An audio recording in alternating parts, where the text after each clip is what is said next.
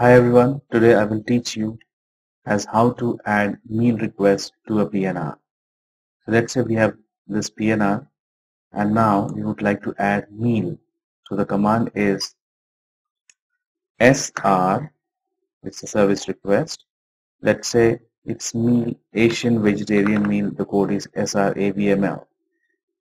For example, if you want to request the same meal for all the passengers, you don't have to specify any name you can simply put sr avml and just hit enter.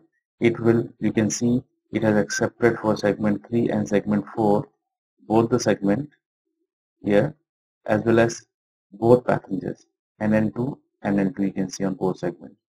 And after this you have to simply put the received field rf and then the name or initial you have to use and then er once you end the booking, you'll be able to see the meal request getting accepted, the same meal for both. Now let's say the passenger says passenger 1 wants to request Asian vegetarian meal and passenger 2 wants fruit, uh, fruit platter, let's say.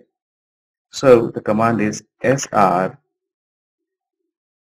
avml slash p1. Now you see for passenger 1 on segment 3 and 4 is AVML and for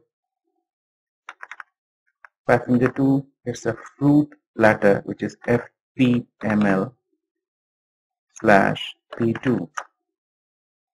Now you see a food platter for passenger 2. Now we put the receive field and end the booking. This prompt will come will repeat the same end booking. Just IR twice.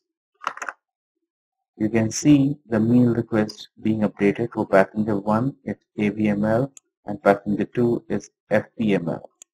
Whenever you see a KK segment, it's a confirmation from the airline that in their system it's been accepted. Now you have to accept it back on the GDS. The command is ERK RF and the name here. Now you see instead of KK, this has become HK, it's confirmed. Hope this video was helpful and you might have liked it. Please like and subscribe my channel. Thank you.